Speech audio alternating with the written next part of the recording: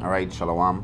First and foremost, I'd like to give all praises, honor, and glory to Yahweh Shemi Shai. And give double honor to the apostles of greatness mercy not to rule well.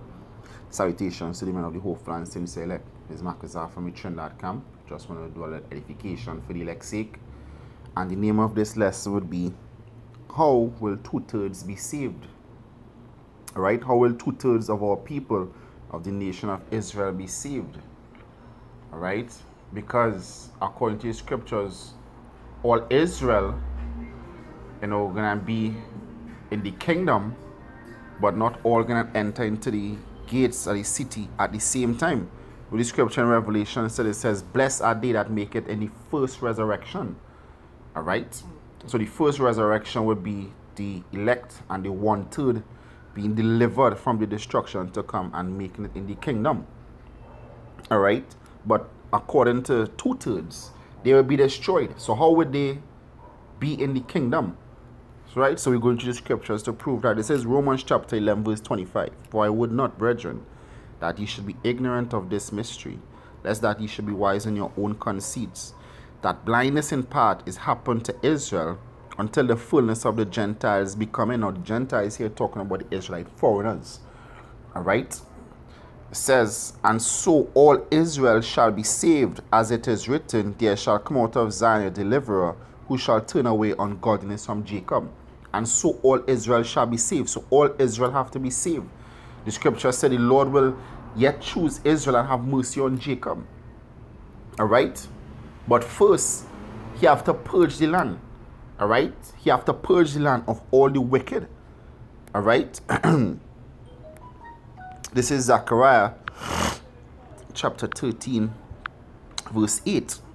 It says, And it shall come to pass that in all the land, saith Yahweh Shem Shai, two parts therein shall be cut off and die, and the third shall be left therein.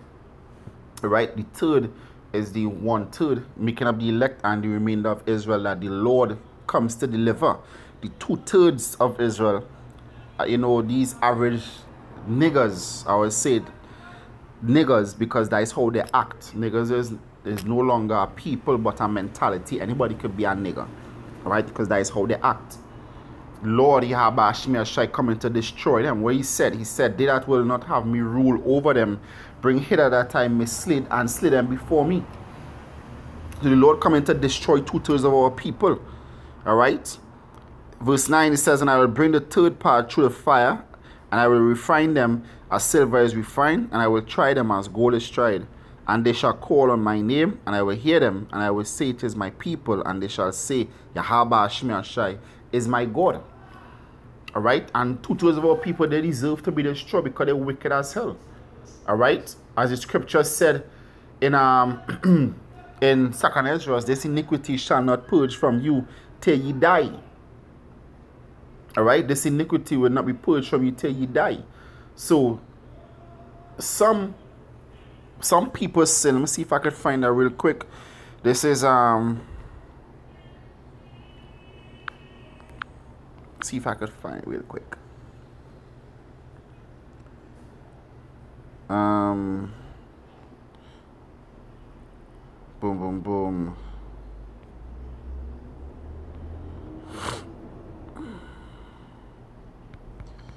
Just bear with me second.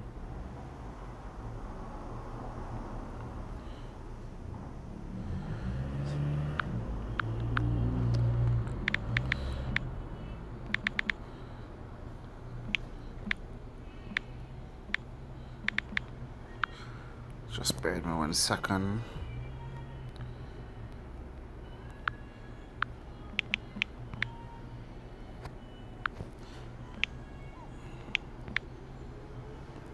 see if I could find it's in Timothy.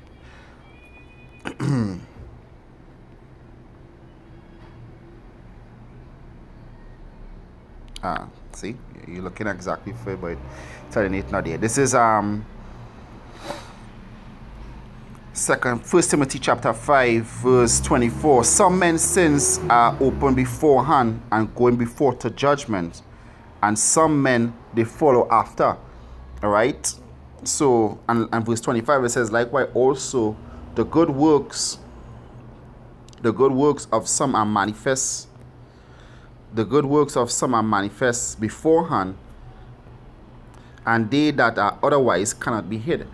All right, so like two thirds, they they sin. Some of them, you know, they die before the time of judgment, and some they're gonna die, you know, during the time of judgment. But their sin being made manifest.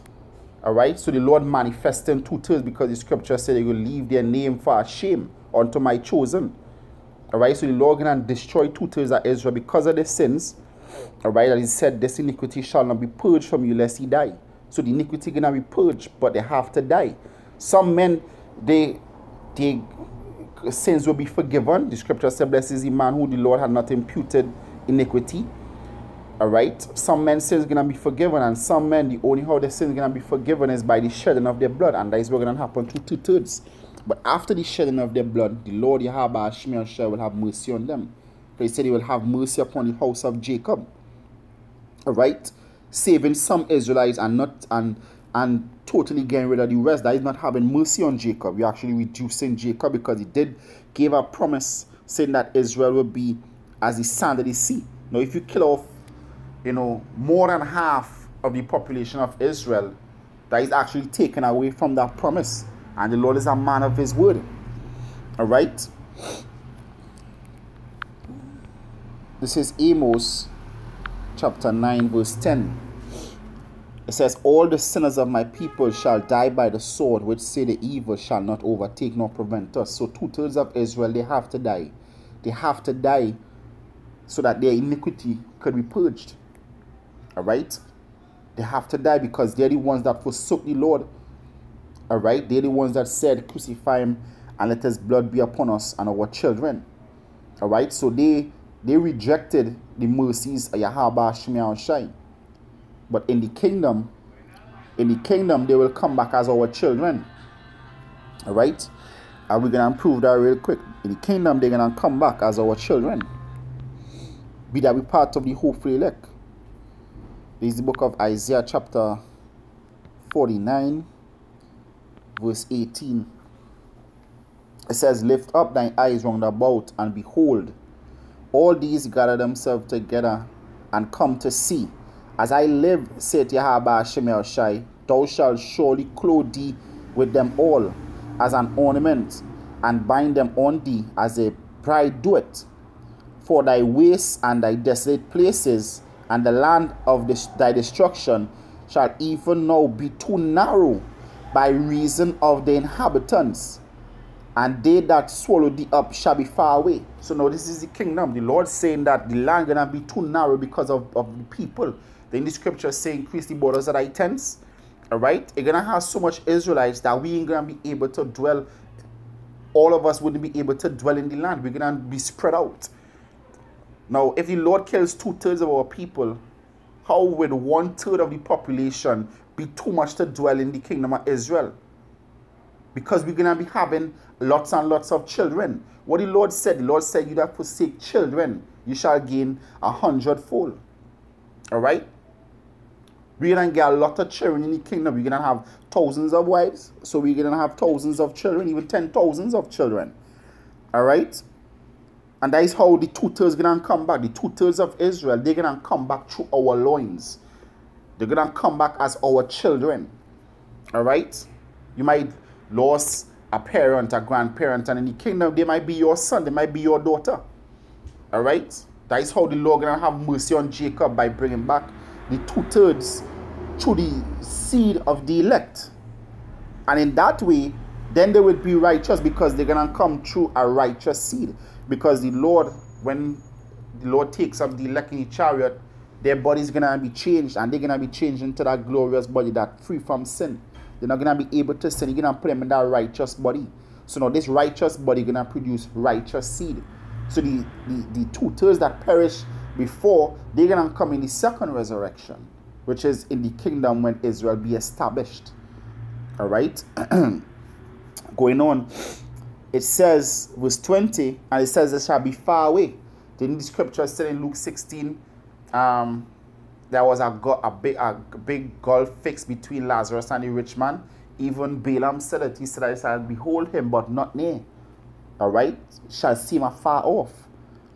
Alright, so this this talking about in the kingdom. It says, and the children which thou shall have, which thou shall have. Pursuing to Jeremiah 16, he told Jeremiah, don't have any children. So how would Jeremiah have children? Jeremiah would have children in the kingdom.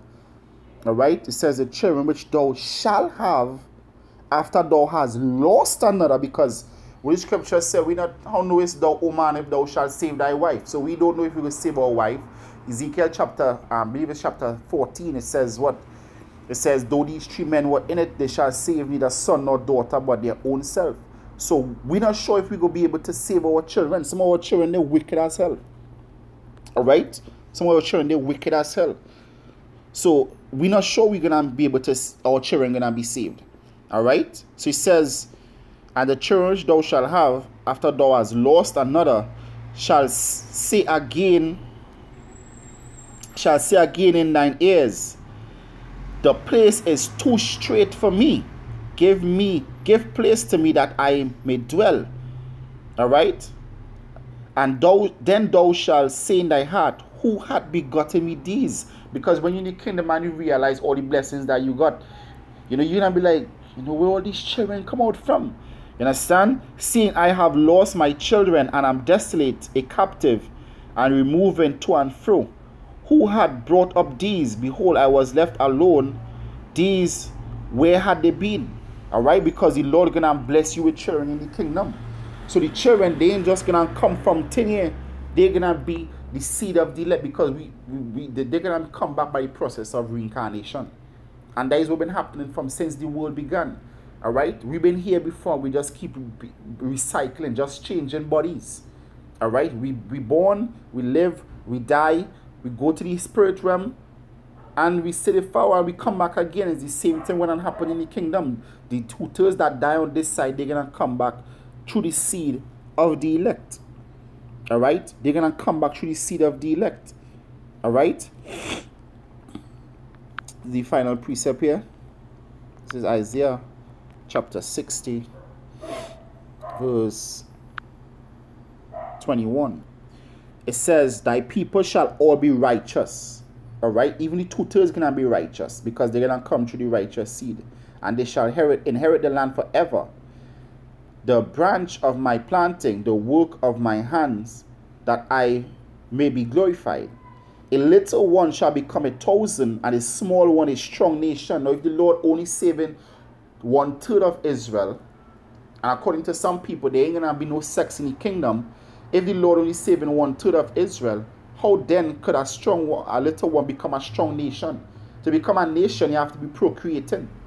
Then the Lord say in the beginning, go and fill the earth. We're going to fill the earth again. And that is how all Israel shall be saved because the Lord going to have mercy on Jacob. Then the Lord have mercy on Benjamin in Judges chapter 20 when he allowed Benjamin to repopulate from 600 back to their nation after the Lord destroyed them for their acts. Alright? How, the ben, how was Benjamin built back? Benjamin was built back through sex, through procreation. And it's the same way all Israel gonna be built back by having children in the kingdom. And the children that they're gonna have are the two thirds that were destroyed. Alright? So two, thirds of Israel, they're gonna be in the kingdom too, but they ain't gonna no longer be two thirds. They're gonna be seeds of the righteous. Alright? So with that, I hope was edifying. I want to give all praises to Yahweh Shemiel Shai. To give double honor to the apostles of great mercy and to rule well. Salutations to the men of the hopeful and sensei elect. These markers are from Trinidad camp saying Shalom and stay strong.